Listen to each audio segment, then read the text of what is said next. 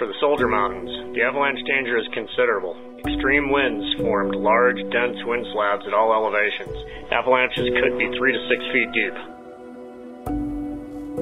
Exercise caution in wind-loaded terrain. In sheltered and less wind-affected terrain, it's possible to trigger 1 to 3 foot deep soft slabs on slopes where weak sugary faceted snow or crusts exist.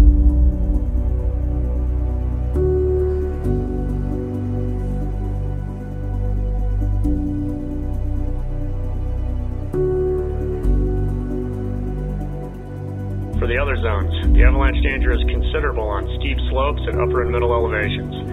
Skiers and riders could trigger recently formed wind slabs and exposed terrain.